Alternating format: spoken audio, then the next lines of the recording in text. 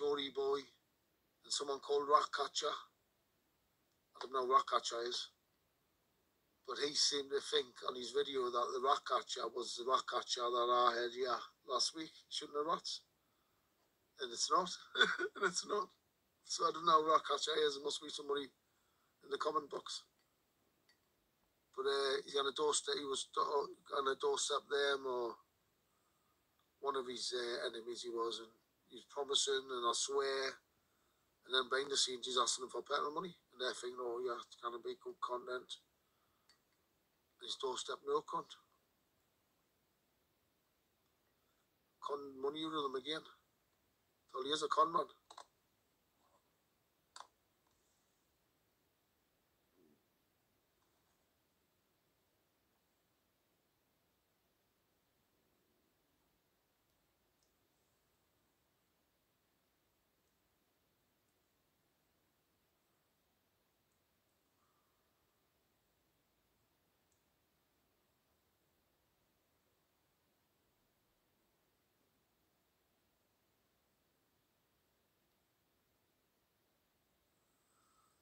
Um, so I was a talking about before, I nobody's had a life like mine. Fucking hell, man. I mean, spoke about my life. Even with the film people hadn't spoke about my life, really. Just bits of it. I just speak about bits of it on yeah, to be honest. But because of the getting the blame for the murders, the life I've had, fucking hell, man. I went when a nonsense off in Spain, foreign prison, said I was a rapist in the newspapers, on the radio. Took some, how'd you get out of that? If even if you wanted, I didn't even try and get out of it. I couldn't speak fucking Spanish anyway. Um, I was honest. Why do you think they done that to us? Because it wasn't an accident like they tried to make out. Like to say something. It was due to the murders that. That's what they do. They think you're a multiple murderer. They'll use any dirty tactic that they can against you. And just the fact that they're army waiting for us when they did get us back tells you it was them that fucking done that as well. For me money it does anyway. That was no accident. But what about that on its own? Being in a foreign prison and it coming of the radio that you wanted because you're a bad rapist. And it's you I talking about.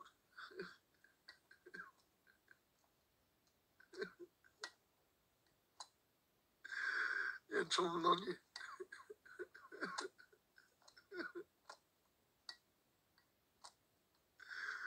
Fucking hell, man.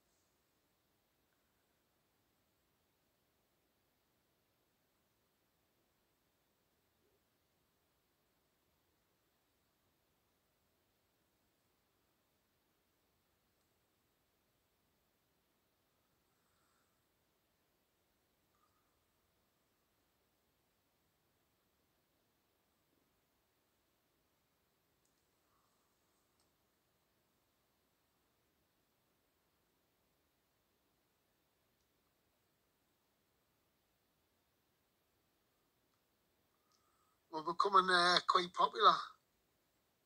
My Thursday night panel show with me and Shara.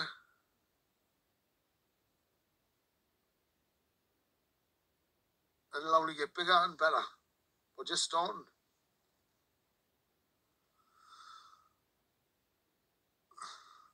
Shara's going to start sharing the videos amongst his uh, subscribers as well next time we do them.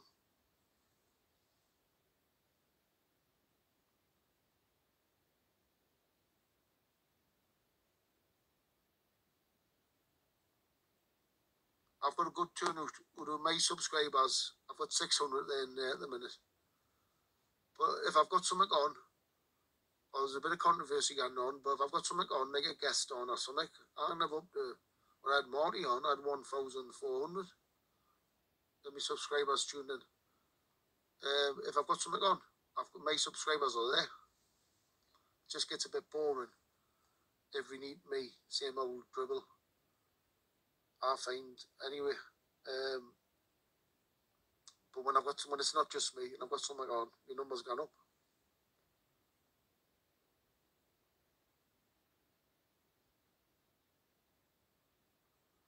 Like I say, even just having Marty on the, the other month, one thousand four hundred.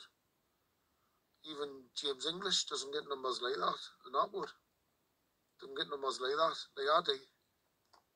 For the lives.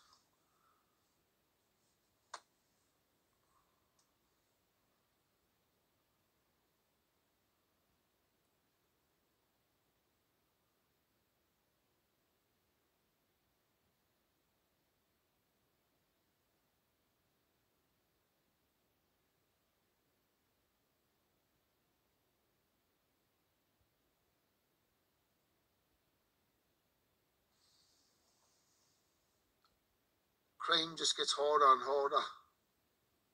Is is especially since the digital age took over, and intelligence have used it in every way. Fucking crime, man. When, again, when I was a kid, like I keep saying, they didn't even have a fucking radio. The cops, had a whistle. And there used to be a, a telephone box at the bottom of the street, police box. For the whole area, for the cops of there to and report something. So you imagine how easy it was for my old man and his mates and them days um, to commit crime when life was like that, when the cops didn't even have a fucking radio. And then crime just gets harder and harder as you go on. And these days, you can't fucking move these days with a digital age. Fucking hell, man, there's cameras all over. Tape recorders all over. If they want to bug you, they can they don't have to come in your house and bug you like they used to. They just tap into your mobile devices, listen and listen into you.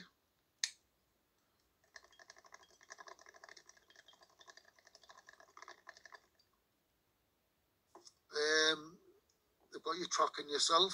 They don't put trackers in your car, then, then you track yourself every day with your phone. Even in the countryside, you couldn't pick something up these days. Back in the day, even the roadworks used to have generators. You could get good money for a generator back in the day.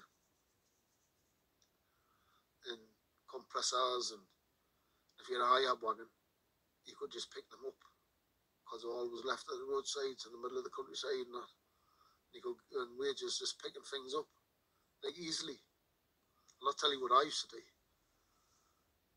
Um, I'm just talking about other people here. But nowadays you can't even do things like that, man. Doesn't matter where you are, you them now as a camera. You've got cameras now that work off solar power like mine. You put them anywhere. Um, so you don't know where there's cameras anywhere. Nowadays they're fetching in drones to deliver your parcels, but what really what they're really doing is every drone's got a camera. So there's going to be cameras flying all over the sky. Other guys, oh, it's a new postal thing, but it's not. It's it's new world order. Putting money into it just to put the technology out there where they've got cameras flying put all the time video and everything. Big brother, innit? You're constantly in that video, no matter where you're go nowadays. And uh, that alone has stopped fucking 90% of crime, I find. Even in pubs. Back in my day, if there was a camera a pub, you wouldn't fucking drink there. But nowadays, you can't have a license uh, unless you've got cameras fitted. So it's, it's stopped all